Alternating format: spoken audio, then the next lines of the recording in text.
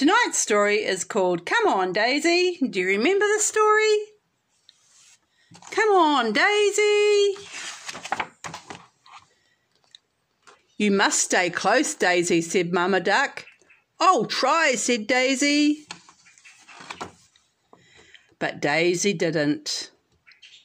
Come on, Daisy, called Mamma Duck.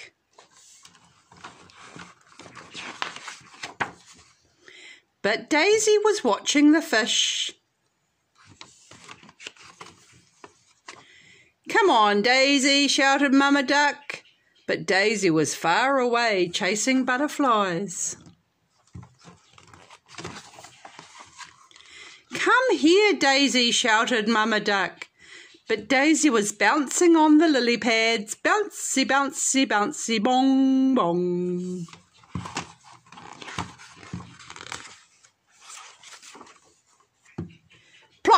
A frog. Cool, said Daisy. Grab it, said the frog. Bong, plop, bong, plop, bong, plop, splash. Caw, said Daisy.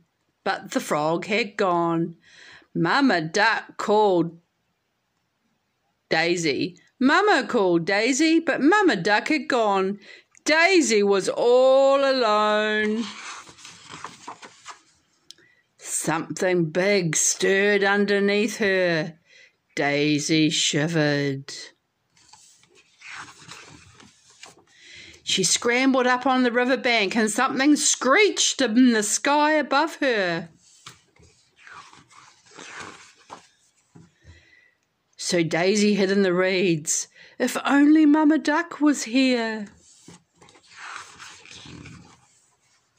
Something was rustling along the river bank.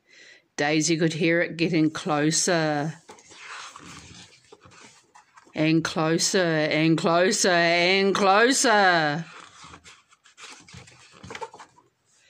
It was Mamma. Daisy, come on, she said, and Daisy did. And even though she played with the butterflies, she stayed very close to Mamma Duck. Good night, everybody.